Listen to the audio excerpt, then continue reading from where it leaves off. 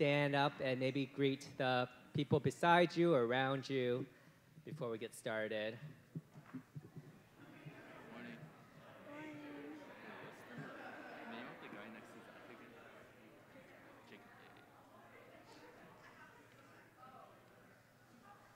So as you guys stay standing, um, we'll, we'll read uh, the call to passage. The call to passage. No? Okay. Um, okay, let's, oh, okay, there it is. Okay. Ephesians 5, 1 to 2. Therefore be imitators of God as beloved children, and walk in love as Christ loved us and gave himself up for us a fragrant offering and sacrifice to God. So please remain standing as we um, start off our worship um, by singing praises to Him.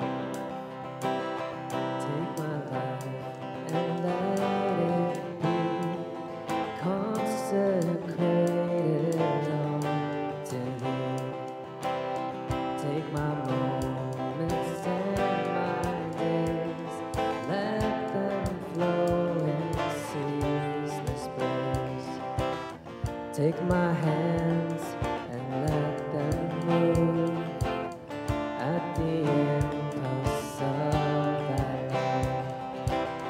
Take my feet and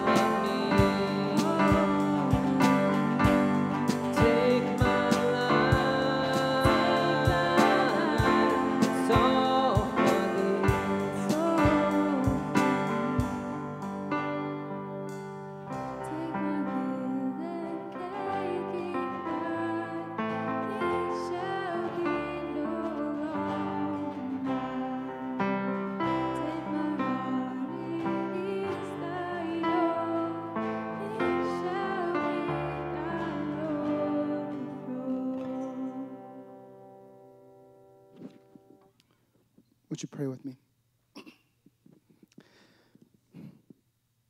Heavenly Father, we come before you this morning as we sing, may it be what truly resonates uh, in, our, in our souls, Lord. That for those who follow you this morning, may that be the cry for you to take our lives. May it be for you and you alone, for your glory and your praise. We stand as redeemed people, saved by the blood of your Son, brought out of death into life, renewed and restored, so we can live lives that can be for your glory and for your praise. You've made us new. You've given us new hearts. You renewed our minds, new ambitions, new passions, new loves. And Lord, this morning we come before you with hearts eagerly to worship you. We thank you, Lord, that you have given us this opportunity to gather again this morning as we are able to sing to you, hear your word preached, and also pray as well. Lord, we pray for our state today. We pray for the atrocities that we have seen these last week, week and a half. Lord, we pray for the families um, in the San Gabriel Valley that's been affected by the shootings. As our hearts grieve, as it hits close to home for so many of us. We pray for the families that have lost loved ones. We pray for the churches in the Los Angeles areas. Pray for the Chinese churches and Asian American churches um, to be able to rally around the hurt and the people who are crying in desperation. May your people be in the front lines in care and in love.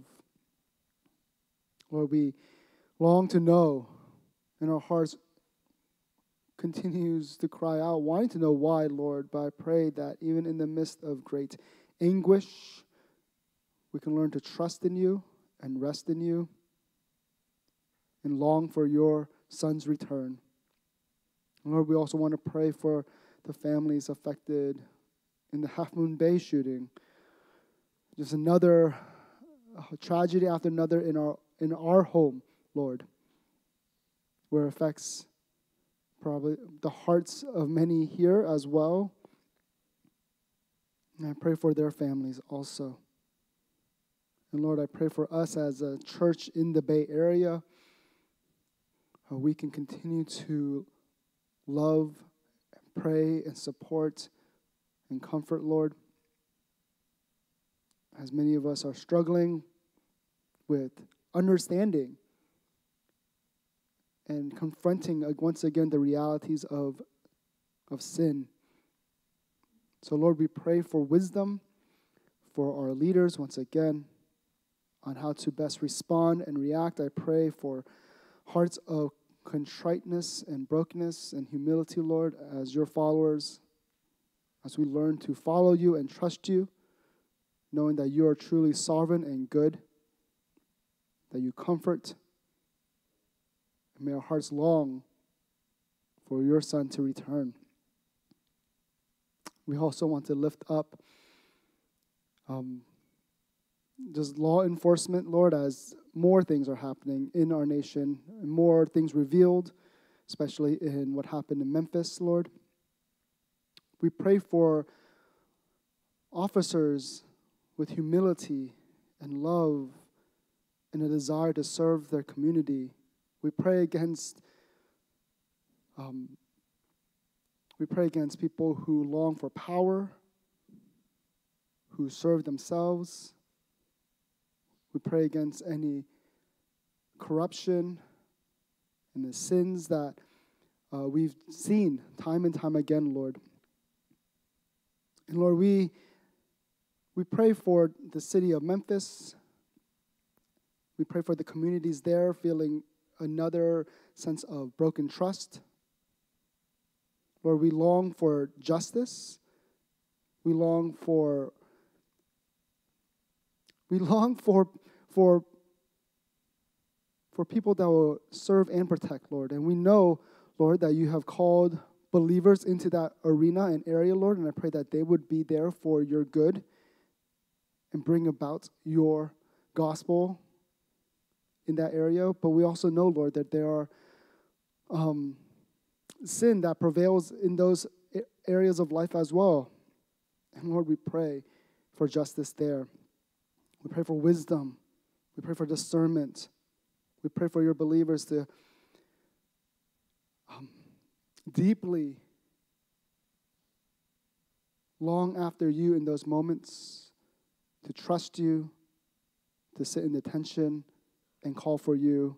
And ultimately, the Lord, our cry time and time again is Come, Lord Jesus, come. We pray for the preaching this morning. We pray for Minister Theo. We thank you for the work he has put this week in preparing and exegeting your word. I pray that you give us hearts of clarity to receive your word, that you give us hearts of flesh to humble ourselves, to come before you. May you give us eyes to see ears to hear, hearts to receive your word. And Lord, I pray that as your people, we will respond to you today. We thank you for hearing our prayers. We thank you and humbled and awed that the God of the universe tunes into us. And as we pray, may you be glorified. May you be honored today. We pray all this in your son's name. Amen. Good morning, everybody. Have a seat. Welcome. My name is Dennis. I am one of the mem- uh, one, I am one of the members here at Vinewood and at Chinese for Christ Berkeley. I am also one of the pastors here as well. If this is your first time, uh, I want to be the one of the first people to um, welcome you. Thank you for uh, coming and visiting. Uh, you should have received a physical get welcome card from one of our welcome team members at the door today. We ask that you just please fill out that card and just return it to one of the team members after service. This is just a way for us to get to know you a little bit better. Uh, you will not get spammed with emails, but we do want to connect with you. And so, if you would uh, do us a kind favor, uh, just uh, give us an opportunity to maybe answer any of your questions or maybe get connected, uh, help, you, help, help you get connected to any of the small groups or fellowships here at church. Uh, if you are joining us online, this is our last week. But we do invite you that there is an online Get Connected Google form on our website. And so uh, feel free to uh, fill that out as well.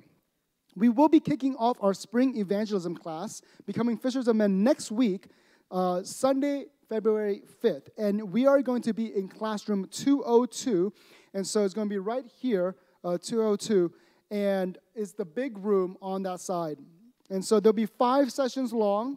It's going to end on April 9th. And so there'll be a mix of lectures. There's going to be a sharing of the gospel inside and outside of church, and uh, with feedback and also a skit. And so our deacon Richard Liu will be teaching that class, and so we are very excited for that. And if you uh, are interested in getting more equipped on how to share the gospel, I think as all as believers we know that we should and long to share the gospel, but maybe we don't feel comfortable knowing how to uh, I want to encourage you to take that class. If you are a in youth, one of the Agape youth students, our Sunday school will be in the organ room on the other side. So you get the brand new room, which is I think like literally like right up there. So if you go on the other side, there's going to be another staircase, and you get those brand new rooms, and the uh, class, your Sunday school class, will be there. If you have any questions about any of those things, you reach out to me or you can reach out to Deacon Richard. If you are interested in getting baptized for our, um, on April 2nd, which will be the week before Easter, uh, we will be beginning baptism class on February 12th, so the week after the evangelism class. Uh, there'll be five consecutive classes uh, for us, uh, for you, and it'll be from 11:15. Or it'll meet at 11:15. It's going to be in room 201. So it is the room closest to the staircase, right next to the evangelism class. So maybe if you're interested in both of them, if you just kind of like listen closely, you might be able to get both of them at the same time. Um, and so go ahead and if you're interested in getting baptized, there will be classes there. And the fifth class is actually a membership class on March 12th. So, for those who are getting baptized, we do highly, highly encourage you to take the membership class as well. And then, for those who have already been baptized, perhaps maybe at your home church, uh, we would encourage you to go to the membership class on March 12th so you can just sit in on that last class. Um, we also hold prayer meetings every morning at 8 a.m. before Sunday service, and it is in room 202. Again, that big room. It is the most utilized room because it is one of our largest rooms. And so uh, at 8 a.m., you can meet us there for prayer meeting. There's also a Zoom link available online. And if you have offering or uh, this morning, you, we encourage you to give via Zelle Pay or PayPal, and you can find that online on our website in the Give tab, and uh, you can get more information on how to do that there. Again, I want to remind everybody who, not here, but those who maybe are tuning in online, this is the last Sunday that we'll have Zoom Sunday service live stream. So after this Sunday, if you are online right now, we're very glad that you're with us. but we'll be even more glad to see you in person next week. And so we will be ending our live stream service uh, because we do see, one, I think uh, as we've seen COVID continue to progress is not the right word, but I guess uh, as, as things are opening up more and more and more, and life is kind of going back to a semblance of normalcy, uh, we think that it's actually quite vital for our spiritual lives to gather in person together. So we want to encourage those to be able to join us. We want to thank our tech team who worked so hard behind the scenes to make this happen over the course of the pandemic for years. Uh, and that's been a great blessing for all of us during that time but also for those who were able to, who were unable to come. So we want to thank them as well. Uh, the uh, recordings, uh, the sermon recordings, will be posted on our YouTube channel uh, each week. So if say you missed a Sunday, uh, maybe you're traveling and you want to kind of catch up, or you want to re-listen uh, to Minister Theo's one of his amazing sermons, you can always go back and go online. We'll post it online, and you can listen to that again. And so finally, I want to remind everybody that there will be some church, uh, we're going to be mounting TVs at our church today at 1 p.m. to 1.30 p.m. And if you want to stick around and help out, please contact our deacon, Victor Zhao, who is currently in the back. And uh, hopefully you'll be ready for that. You'll get some instructions, but we'll be happy to have your help. Uh, but last but not least, we want to invite Minister Theo up as he continues us in the book of Matthew.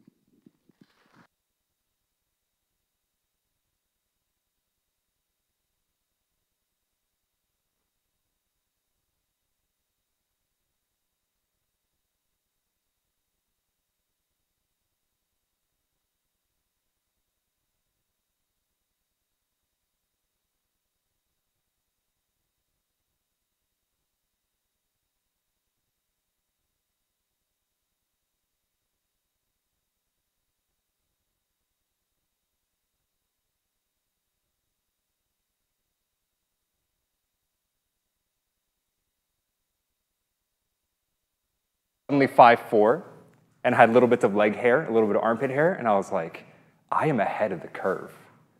I am here on God's green earth to play basketball. The next year, sixth grade, got my second growth spurt. By that time, I was 5'7 as an 11 year old. I made the team at my elementary school. We were a K through 6 elementary school. And I was like, I'm ready. I'm here. Are you all ready to get dominated? And I realized very quickly when I got on the court that I was only effective for the first minute because the other team was afraid of me because they saw this like random Chinese kid who's like five seven as an 11 year old and they're like, what is going on? What is he? But the thing is, the minute they saw me touch the ball, they realized I was useless. I couldn't dribble, I couldn't really catch well, I could not get the reads that I should have, and most importantly, I could not shoot. I could get up to the paint, I could never make it in. And I would always ask people, like, how do you shoot? Like, what do you do? And they're like, just shoot it. I'm always like, that was the least helpful advice you could ever give. Just shoot it. Just do it. Just put it up. And throughout my life, I've been very sensitive to the phrase, just do this. Just do that. When we use the word just, we trivialize things. We make them seem easier. We reduce them. When we use the word just, we are implying, bro, you just suck. We also imply that we don't understand the complexity of what we're saying. We don't understand that shooting a bas- this is me kind of excusing myself and rationalizing, right? But we don't understand that shooting a basketball actually has a lot of physiological mechanics. It has to start from your feet, up through your legs, through your arms, the way that your fingers are shaped, the motion of your hand, the stability of everything. Like I'm saying things that I just read off a PDF and they make sense to me. There's mechanics behind these things. There's a reason for things. There's a reason why some people shoot better than others, not just because of their bodily giftings, but because they've trained because they studied. In the same way, I think as Christians, we do a disservice when we trivialize Christian love. Very often, when you talk to an average Christian on the street, you'll ask them, What's Christianity about? And they'll say, Oh, just love God and love people. Just love God and love people. But for those of us here today who have seriously tried to love God, I think you and I would agree that it is very, very hard to love God. That it is not natural for us to do so. Instead, it's natural for us to love sin. So we recognize that it takes everything that we have and more to love God. In the same way that for those of us who have tried to love one another, loving one another is much harder than we make it out to be. Because we know that Christian love is not just sentiment, Christian love is commitment, Christian love is action, it is sacrifice. So when we talk about Christian love this morning in Matthew 25, verse 31 to 46, I want to unload it on you. I want to show you the full depth from what Jesus is saying here at the end of the Olivet Discourse of how important our love is. The title for today is To Love Your King by Loving His People, and that's also the main point. This is the last section of the Olivet Discourse. Jesus has finished telling us what is the end going to be like? How will we know when he comes back? What should we do in the meantime? How should the knowledge that Jesus is returning shape the way that we live today? And this is the last section. Jesus is going to tell us one more thing about how his second coming has to shape our lives today. With that said, please look with me at Matthew 25, verse 31, and I'll read and we will thank God for his word after. Jesus says, When the Son of Man comes in his glory, and all the angels with him, then he will sit on his glorious throne. Before him will be gathered all the nations, and he will separate people from one another, as a shepherd separates the sheep from the goats. And he will place the sheep on his right, but the goats on his left. Then the king will say to those on his right, Come, you who are blessed by my Father, inherit the kingdom prepared for you from the foundation of the world.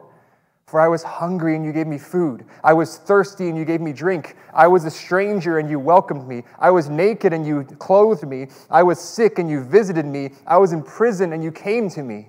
Then the righteous will answer him, saying, Lord, when did we see you hungry and feed you, or thirsty and give you a drink? And when did we see you a stranger and welcome you, or naked and clothe you? And when did we see you sick or in prison and visit you? And the king will answer them, Truly, I say to you, as you did it to one of these, the least of these, my brothers, you did it to me.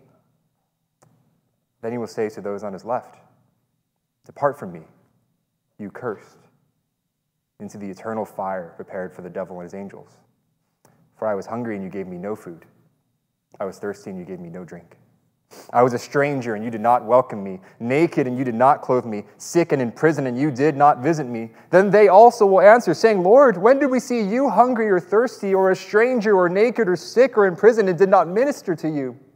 And then Jesus will answer them, saying, Truly, I say to you, as you did not do it to one of the least of these, you did not do it to me. And these will go away into eternal punishment, but the righteous into eternal life. This is the word of the Lord. Let's pray together before we continue. God, we rely on you this morning to guide us by your Spirit. Help us to understand what you are saying through your word to each of us. In your Son's name we pray. Amen. I want to spend our time in four points. I want to unpack the significance of what I'm saying is the main idea of this passage, which is that we have to take care to love our King, Jesus, by loving his people. And the first point is, uh, you'll see on the screen, love is our identity marker.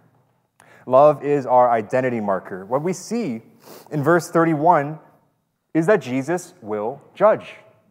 Jesus is the judge that we will all stand before on the last day. Jesus is pointing to that last day, that final day, when all the nations, verse 32, will be gathered in front of him. This is the final universal judgment. Jesus is speaking of that day when every single one of us will have to give an account of how we have lived our lives, whether good or evil, whether by faith or without. Jesus was given the right to judge because God wanted to win glory for his son. We see this in John chapter 5. Jesus explains the Father actually will not be the judge because the Father has given the Son the right to judge because he wants all people to honor his Son. So Jesus will judge for his glory. You look later in Revelation, you see that the book of life belongs to Jesus. In chapter 3, Jesus has the right to blot someone's name out of the book of life. when Jesus sits on the great white throne to judge in Revelation 20, it is he who has the book of life in front of him. So, the first thing that we have to come to terms with this morning, friends who sit with me today, are you ready? Are you ready to stand before Jesus and give an account of your life? We have to recognize that it is not anything that we can do that can make us worthy. It is not any performance that we could muster out of ourselves, no amount of moral living that could make us worthy to stand in front of Jesus and say, I deserve to be with you. I deserve to be welcomed into heaven. But instead, we recognize that the one who is to judge us is also the one who came down to save us. The one who has all right to judge is the same one who humbled himself to become like a servant, who gave himself on the cross for you and me, so that whoever would believe should not perish, but have eternal life. This is the judge. We have no excuse in front of this judge. None of us can say we didn't know because I just told you that if you have not yet put your faith in Jesus, you need to do so today, because unless you do, you will not be ready to stand before him in the judgment. Jesus uses an analogy here to describe how he's going to judge. In verse 32, he tells us he is going to be like a shepherd. In the same way that a shepherd separates the sheep from the goats, Jesus also will separate the righteous from the wicked. And we have to ask, how can he tell us apart? What's our love that distinguishes us? It is our love that sets us apart. We have to understand first that sheep and goats actually look very similar. In the ancient Near East culture, especially if you were an Israelite back in the day, a lot of times if you were a shepherd, you would have both sheep and goats. And the problem is, for us as Western people growing up in California, most of us, we have never seen a sheep in our lives. And we just think, oh, the ones that show up in children's book, the white fluffy ones, are sheep. When in actuality, sheep come in all shades from white to black, including brown. In the same way that goats also come in all colors from white through black, including brown. In the same way that some sheep are really ugly and other goats are very cute, and vice versa. They actually look very similar. So if you're just looking at a crowd of 100 sheep and goats, honestly, you and I could probably not pick them apart. It takes a trained eye to be able to distinguish which one's a sheep, which one's a goat. The point of this analogy that Jesus is making is sheep and goats lived together. They did things together. They ate the same things. They drank the same things. They walked around in large flocks together. They're virtually indistinguishable. And in the same way, when it comes to us as people, how different are we? Like, if we were purely monastic, then yeah, you could tell which one's a Christian and which one's not, because all the Christians hole up in monasteries and they spend their time eating beans and praying. That's not how we are. We are in this world. We walk among non Christians. Most of your classmates are non Christians. Most of your coworkers are non Christians. My coworkers are Christian. Haha. so you can, it's, it's indistinguishable. You can't tell people apart just by looking at them. So, in the same way, Jesus is saying it takes a trained eye to discern who is the righteous and who is the wicked. And what Jesus is going to teach us is that as the judge, and as the king who knows us in verse 34. It is our love that distinguishes us. That is what separates the sheep from the goats, the righteous from the wicked. Just at a quick glance from verses 34 to 40, if you just glance at it, you see a picture of very practical love. It is a very practical love. It is the only criterion used for judgment. Because Christian love is the fundamental and summary proof of faith. That is to say, you cannot possibly believe if you don't have Christian love. You cannot possibly be a believer if you do not love your brothers and sisters in a practical way. James tells us in James chapter 2 verse 17 that faith without works is dead. So you cannot have faith if you don't have the works that show that you have faith. It's often said that we are saved by faith alone, but saving faith is never alone. It is love that proves our faith. In the same way that Paul says in Romans 13 that you should owe no one anything except to love them. So I'm not saying that love saves you. Faith saves you. But you cannot possibly be saved if you do not love. And that's what we see in 1 John 4. He who does not love his brother whom he has seen cannot possibly love God whom he has not seen. It is impossible for you to say that you are a believer if your life does not show love for the king's people.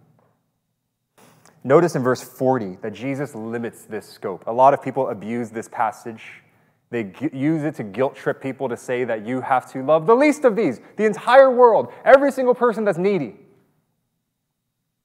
Notice that Jesus says in verse 40 Truly I say to you, as you did it to one of the least of these, my brothers, you did it to me. He limits it. Our obligation is to our brothers and sisters. Our obligation is to God's people. This is not to say that this is exclusive of people who are not Christians. That's not the point. The point is that Christians take priority. Remember, Jesus says in John 13 that by this the world that you the world will know that you are my disciples by your love for one another. And Paul says in Galatians chapter 6, love everyone, do good for everyone, but especially for the household of God. There is a priority here. Jesus is holding us accountable for the way that we treat one another in the church first. Our love for people outside of the church comes second. Think about it like this if you cannot love the brother and sister who sits next to you, how can you possibly love the people outside of God's family? If you cannot love the people whom God has redeemed, how can you possibly love the people that are still outside of your family? The church is the training ground. The church is the place where we hone our skills. The church is the place where we get to figure out how to love people. And then we take what we learned here and apply it outside. Do not mistake your priorities. You're trying to run before you can even walk. Christian love is not only sentiment.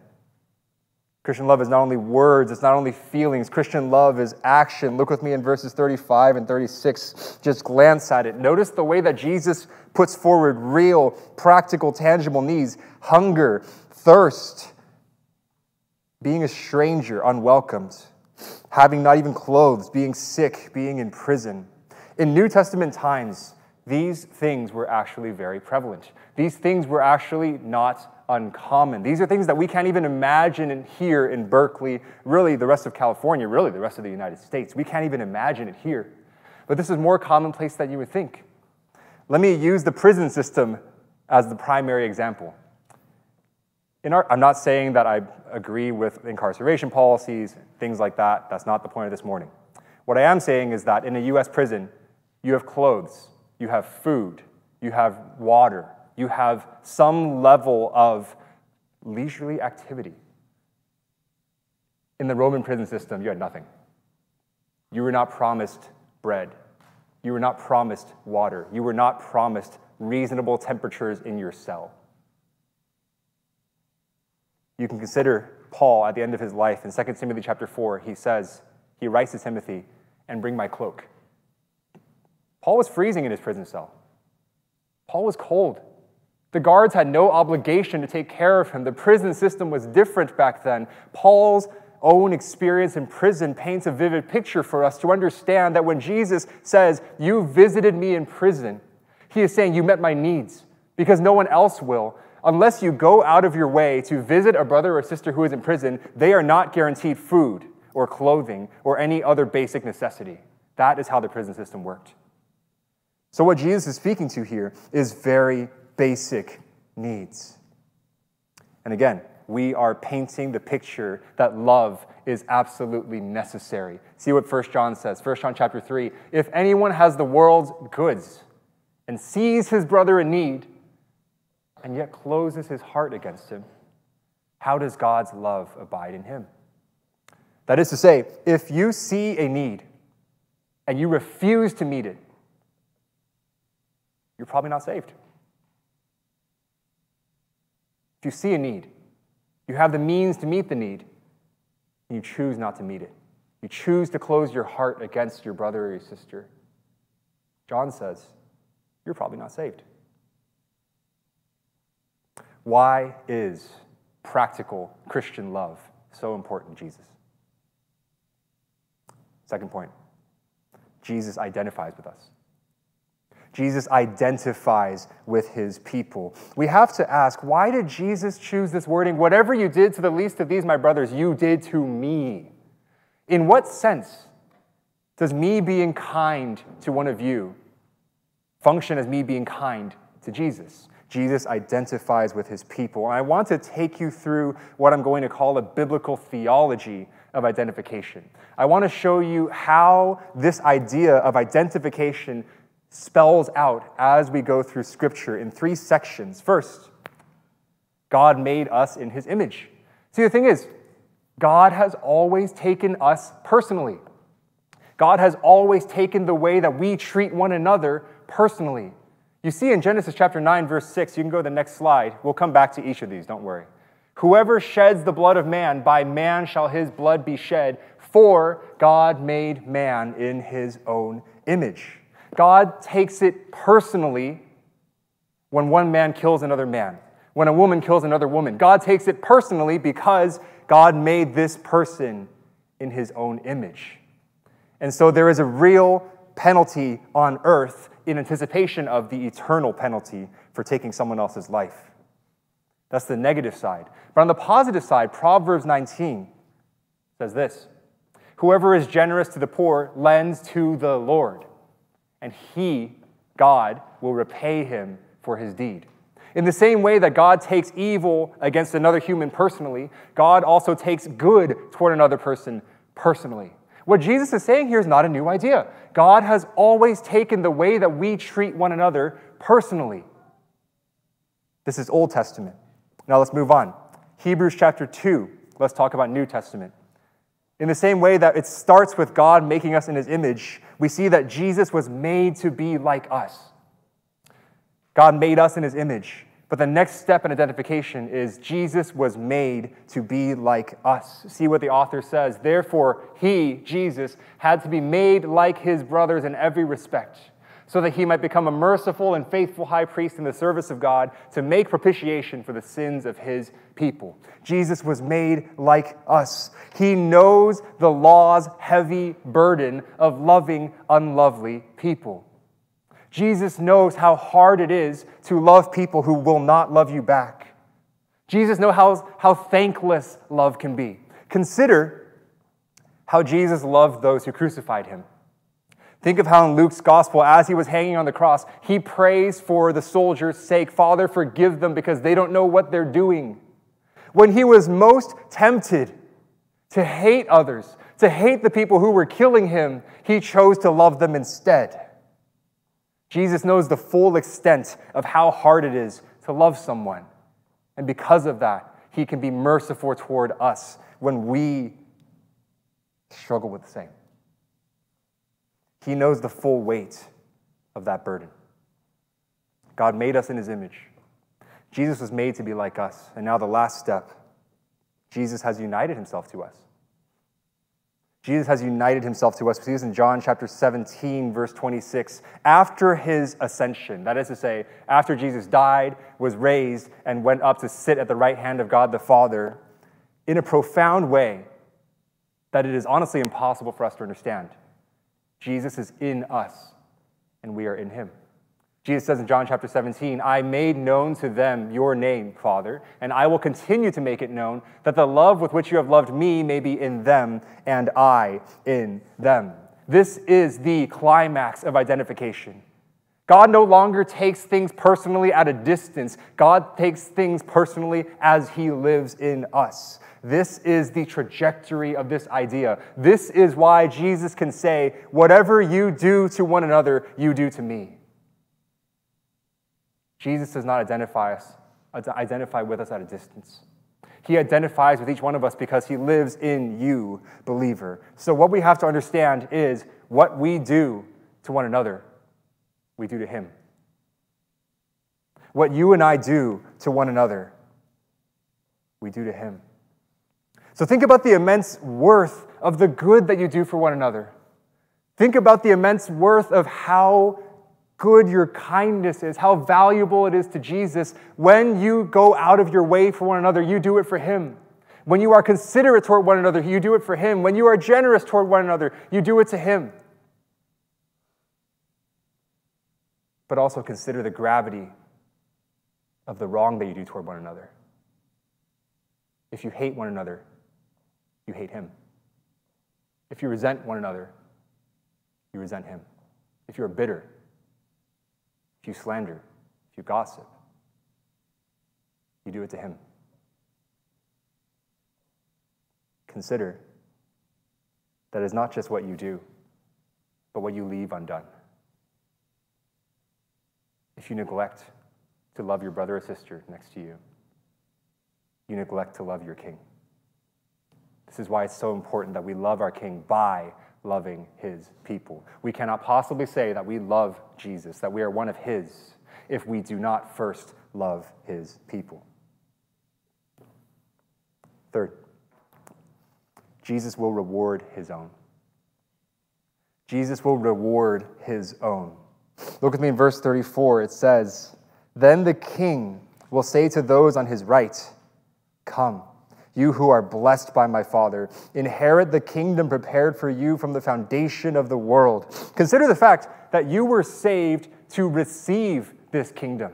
This is the culmination of your salvation. This is God's plan for you. All this time, He was to save you so that you would receive this kingdom, so that you would reign with His Son, as we talked about last Sunday.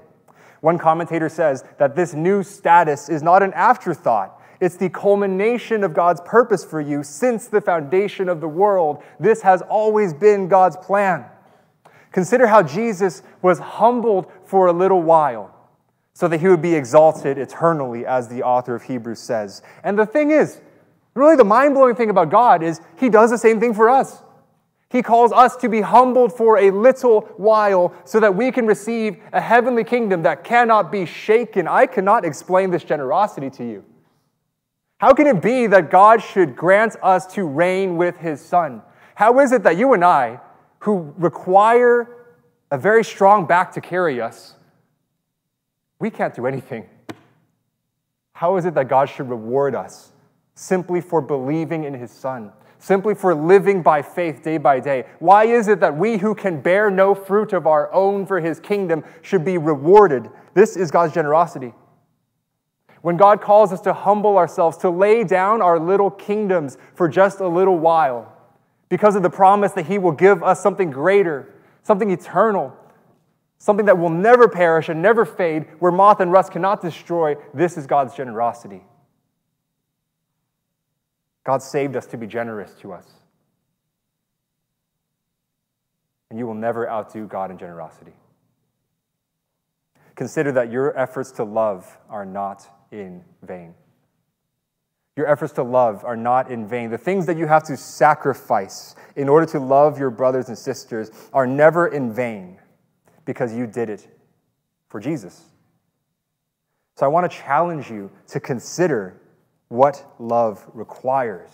It requires intention and sacrifice. So let me ask you first are your eyes open? Are your eyes open to needs? Are your eyes open toward one another, or are you wearing blinders so that you can only see what you want to see? Do you tunnel vision on the little kingdom that you're trying to build, or are your eyes open to see the kingdom that God is building in our midst right now as He makes each and every one of us like His Son? Open your eyes to see the needs that are in front of you, to see the kingdom opportunities that God is giving to each one of you. Open your eyes, and when you see the need, open your hearts because if you see the need and close your heart toward your brother and sister, you're closing your heart to Jesus. If you see the need, open your heart and meet the need. I want to challenge you this morning don't calculate. Don't calculate the sacrifice. If you see a need and your heart is open toward that need, just meet it. Don't do the math in your head. Don't say, well, I need at least two hours and 19 minutes to study for my midterm, and this is going to cost me two hours and 21 minutes, so I'm sorry I can't do it. Don't calculate. If you are calculating how much you can sacrifice, let me suggest that you are not sacrificing at all. You're just like a Pharisee. The Pharisees who will tithe the little things like cumin and mint and dill, but they neglect the weightier matters of the law like love and justice and mercy. If you calculate your sacrifice, you are not loving, you're just being obligated. You're just living a life of, oh, my mom told me I have to, so I will. That's not love. Open your eyes to the least of these. Open your eyes to the people in our church who do not get attention. Open your eyes to the people in our church who are not popular. Open your eyes to the people in our church who are quietly hurting. These are the people that you and I must work to care for. I want to say one more time. The reason why I'm saying, and the reason why the New Testament says to prioritize your love for the church is because the church is our training ground. This is where we start. This is where we learn the skills. This is where we see God's grace at work in us and through us. And as we develop a better culture of love and care in our church, every single one of us will be better equipped to go out and love and care for other people. Because when you learn the depths of Christian love in the church context, you will understand the depth of sacrifice and the level of commitment that it takes to love like Jesus is calling us to love. Not just a sentiment, not just a fluffy idea, not just love, but to take on the full burden and commitment that Christian love requires. Do this knowing that however much you have to sacrifice to love one of your brothers and sisters, you will never outdo the God who sacrificed his son for you. Never. You will never outdo God in generosity. Do this, lastly, because Jesus will reject all others. Let me say one more time you are not saved because you love. We are saved by faith alone, but saving faith is never alone. Saving faith loves, if I may put it like that. Love is the summary expression of saving faith. They're not condemned for lack of love per se, they're condemned for the lack of real saving faith. And one more note I want to keep in mind Jesus' audience. Remember who Jesus is talking to. The function of this passage is not universal condemnation. You're not supposed to go to a random non Christian that you're trying to share the gospel with and say, hey, look, because you don't care about the least of these, you're going to hell. That's not the point. Jesus is not speaking to outsiders, Jesus is speaking to his disciples. This is a warning to us in this room not to be used against people who do not profess to be Christians. This is a warning for those who call themselves disciples. Take care, then, to not neglect love. Do not neglect love. Again, just at face value, at a quick glance, you can see that it's mirrored. It's almost a copy and paste from the previous section, except it's abbreviated. But there's one thing that stands out. I want to point this to you. Look with me in verse 44. This is the response that the, uh, I'm going to call them goats, give. Verse 44. Then they also will answer, saying, Lord, when did we see you hungry or thirsty or a stranger or naked or sick or in prison and did not minister to you? The Greek word behind minister, minister is um, it's too fancy of a word. It's actually a very mundane word. It's actually a very humble word. It literally just means to serve. When did we not serve you? This is the same word that Matthew puts in Jesus' mouth in Matthew chapter 20, when Jesus says, The greatest of you will be the servant of all. In the same way that the Son of Man came not to be served, but to serve. It's the same Greek word. When we see this verbal link, we have to understand Jesus is using basic discipleship terminology. This is ground level faith. When these people say, When did we not serve you? Remember that we are in an American Christian context. we have this idea that service is good, service is noble, ministry is something to be lauded and applauded. But the thing is, back in the day, to use the word diakoneo, to serve, it was a humble word. No person of stature serves. No person of dignity or reputation serves. You know who serves? Servants serve. Jesus has been calling his disciples to humble themselves, to lay down their kingdoms, to lay down their pursuit of respect and dignity, and just to serve. In the same way, we have to understand what Jesus is saying. He is calling us towards something humble and undesirable, something that should win you no praise whatsoever, something that should humble you. It is their unwillingness to serve fellow believers because they were unwilling to serve one another. They refused to serve Jesus himself.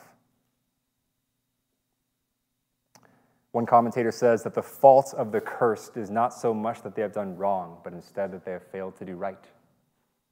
They chose not to serve the king. So they're rebels. And Jesus ends by saying that your present neglect will cost you your eternity. Quote unquote disciples who neglect the humble, sacrificial love that Jesus commands.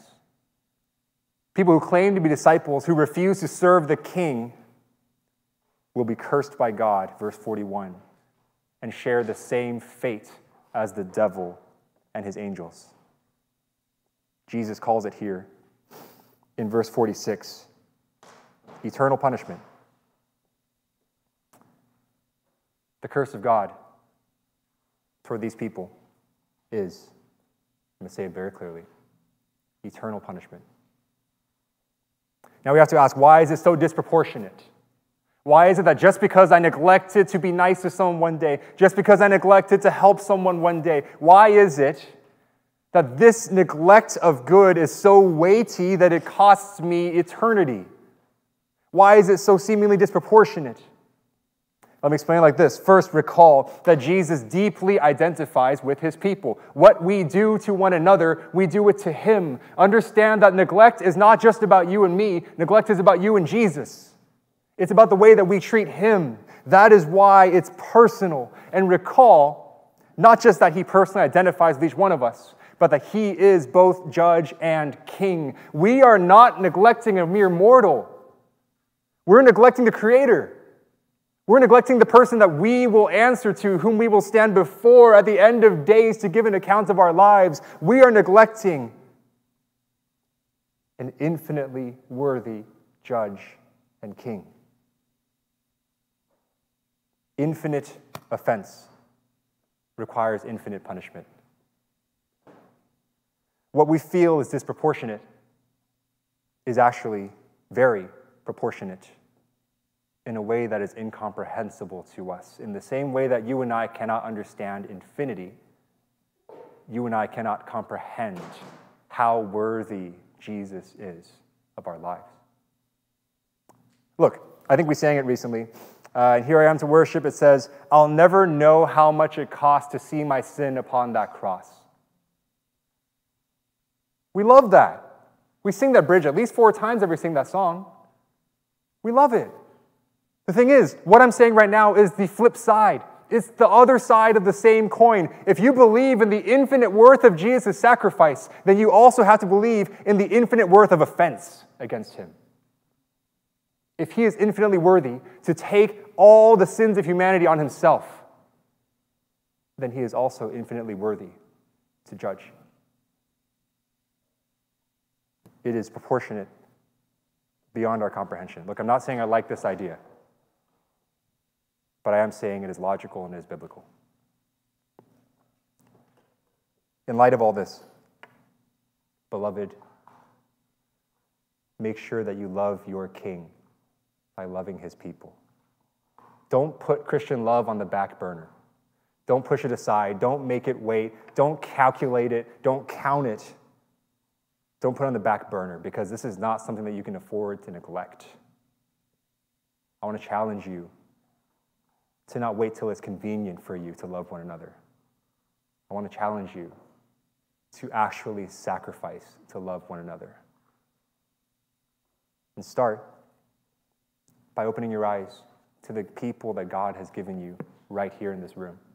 I want to challenge you outside when you loiter and banter and stuff, loiter with someone else for once. Talk to someone you don't normally talk to. Start there. Open your eyes to see the need. Open your heart and go love. See the gravity of Jesus' words.